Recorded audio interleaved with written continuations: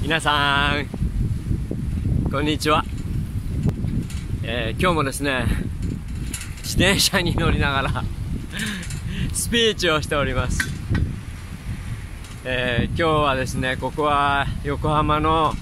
えー大通公園というところなんですけど、え昔は川だったところなんですよね。なぜこう走ってるかというと今ですね横浜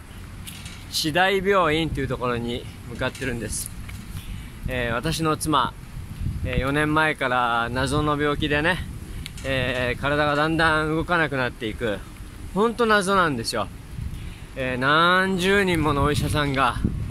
えその妻の体をですね、えいろんな検査をしたんですけれども全然やっぱり分かんないんですね。その原因も分からないしえー治し方もわからないし不思議な病なんですよ。で彼女自身はですね、えー日々一生懸命一生懸命、えー歩いてできる範囲歩いて、えー300メートル歩くのに今20分ぐらいかかる感じなんですけども、まあ、そんな体で昨日ね、えー息子の授業参観があったので私は仕事で付き添えなかったですから彼女は一人で杖ついて行ったんですよ。で4階の、えー古い校舎なのでエレベーターなしで4階まで行きましてでそこが昨日ね台風の後ですごく暑くて、えー気分がやはり悪くなりでそれに連動して体も全然動かなくなりそれで今まあ、病院へということなんですね。でも私はあの病気自慢とかはもう全然したくないので、まあ、病気であってもその中にいいことっていっぱいありますからまず一つ目はですね、えー妻が病気でいてくださるからこそ、えー僕とか、えー僕の息子は、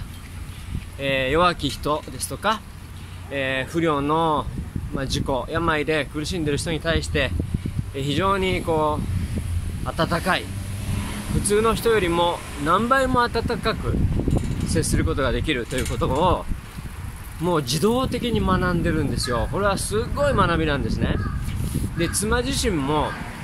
え病気をただ嘆いているだけでは何の進展もしないので、そこは彼女自身もね、言ってますね。今までは思うようにいかない自分の思い通りにいかないことに関してはもう逃げていたしそれを否定して自分のことを責めてばっかりいたけれども今はそうではないと、えー自分の境遇は、えー自分で変えられるんだというところで病だって謎の病であったって絶対に治せるんだというですね彼女自身がすごく前向きになってますし僕ら支えている家族ももう希望に満ち満ちていないとえ日々不安などにあり不安不安などやっぱりありますよ、え不安などに負けちゃいますから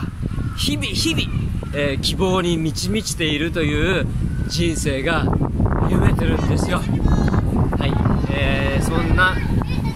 えー病気にも感謝できているこの家族が、えー僕が持っている唯一のそして唯一輝く最高に輝いている宝物宝物でございます。はい以上です。これからもう病院が見えてきました。